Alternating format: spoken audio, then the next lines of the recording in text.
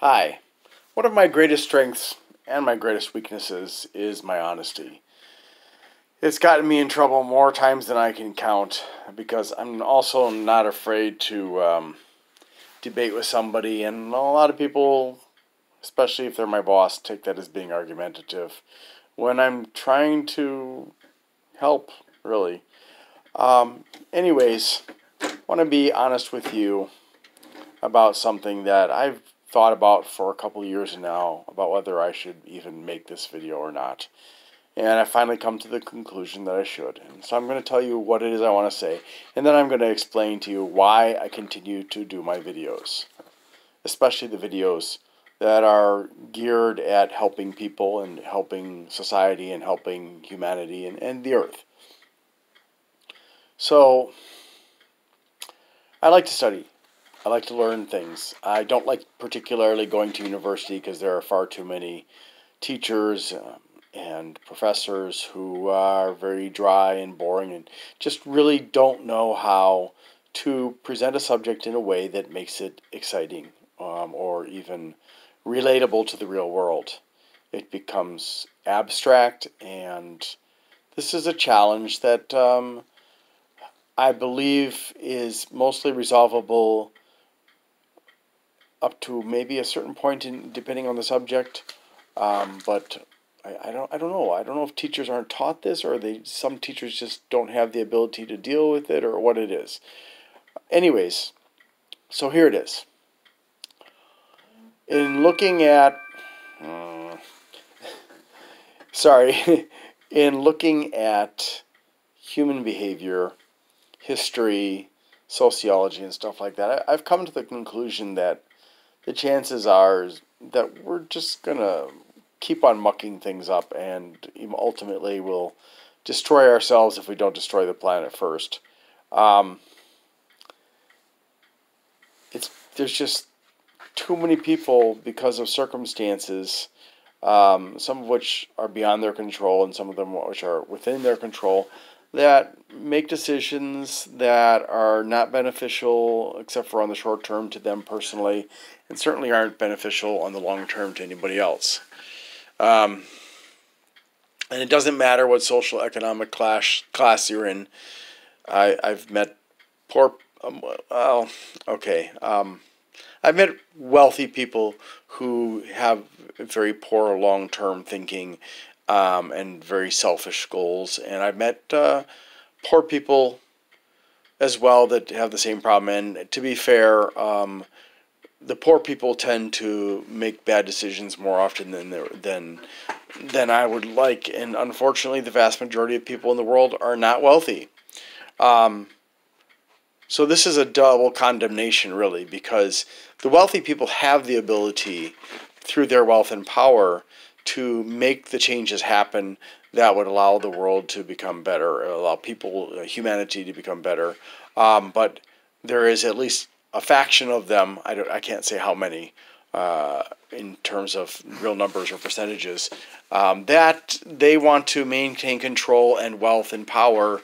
Um, and so they manipulate things to ensure that the rest of the people are constantly scrabbling to um, stay afloat, I guess you could say, uh, which is to say that, well,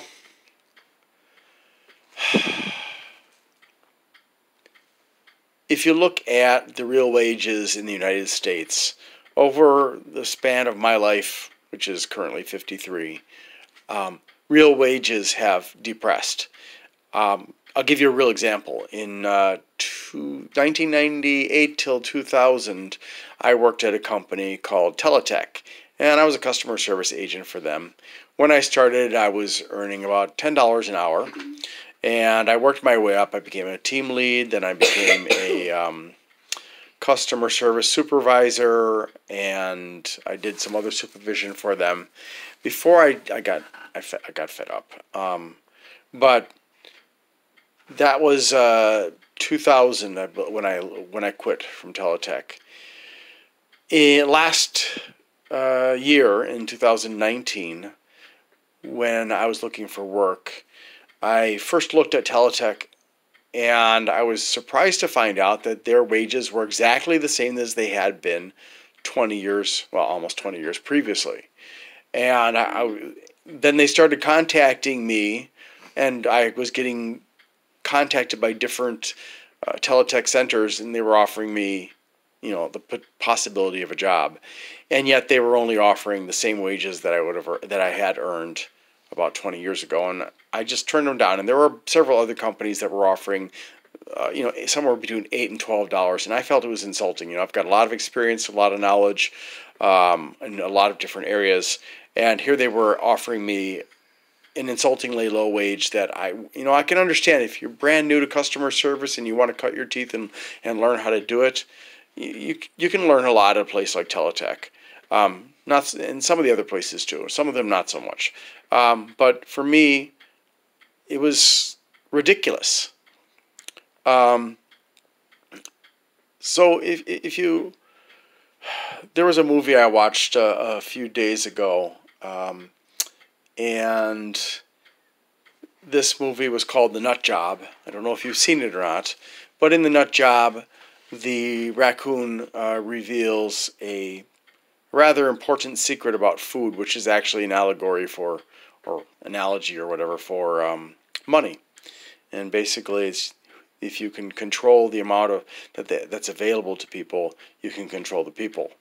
Um, and that's very true. If you keep everybody's wages low, so that they're constantly scrabbling and fighting with each other and fighting with themselves, for that matter, and keeping them in a state of, of I guess you could say, disrepair, and chaos, um, they will be easily manipulated and easily used to help you to maintain your level of wealth and or even increase it. So you know, if we look at a lot of big family, uh, very rich families, they got their wealth either through uh, by standing on the backs of many many people and uh, getting huge amounts of money while those people did not, and many of them even you know died um, either directly or indirectly because of their work, such as coal miners is, is a good example. Um, or they um, became wealthy through illegal activities like, um, well, Wells Fargo was involved in some very um, uh, seedy things in the years uh, in years past. The Kennedy family was involved with the mafia. They were involved with uh, uh alcohol smuggling during Prohibition, uh, the Rockefellers, the, the Chases, the Morgans, and all these other big families. Uh, they're not really very much different from, say, the Queen of England uh, and that family and the other royal families who amassed their wealth not by legitimate means, but by robbery, murder, theft, and and uh, pillaging and and invasions and uh, uh, occupations and things like that. Um, and they continue to practice that way. And there are a fair number of wealthy families who continue to this day to do that. There are others that choose not to uh, amass wealth in that manner, but when I was in Indonesia, I saw much of the same thing. So there's a lot that could be resolved if humans um, were, you know, all humans had uh, better opportunities, better education, um, but with other humans constantly working to keep them divided, keep us divided, to keep us down, to keep us um, scrabbling just to make ends meet. Um, it's it's not going to happen really. Um, so since we're fighting against the wealthy, and that does seem to be like a potentially insurmountable task. Um, maybe we should give up, right? Well, no. The truth is is that sure we're struggling but that doesn't mean that we can't rise above the condition that we're in rise above ourselves become better people. So that's why i continue to do videos that are aimed at helping people uh, whether it be through information about uh, how to do certain things or you know whatever or information about how to help yourself uh, psychologically. Um, because I believe that if I were just to be like other people who have given up because they see human nature and the, and the greed and stuff, then I would fail. But if I'm like Edison and, and Tesla and, and uh, Bell and Franklin and all these other very, very famous people from around the world, I mean, Admiral Yi of Korea, uh, Hiawatha, uh, um, and the Peacemaker, and uh, oh my God, I can't even say the name of the woman who was the, the part of that trio. I, I apologize. Uh, let me just look here. Is her name was Jigonsase. Um, they were all part of the Iroquois nations that formed the um, the Six Nations uh, that were a peaceful organization, and there are just so many other examples you can pull out of history of of people who rose up through great adversity and accomplished amazing things. Uh, you just the stories are all over the place. I mean, I've met people who are just struggling with adversity and they're they're making it. You know, they're they're improving their lives. Um, I met a guy with I don't know if it was ALS or uh, one of the other debilitating illnesses out there, but he was nothing but skin and bones. He was in Indonesia, and yet he had a uh, repair business for computers. And although he could barely move because he was so emaciated from this illness, he still had employees who took care of him, employees who, who did the work for him because he was no longer able to do any of that himself. And there are so many stories like that.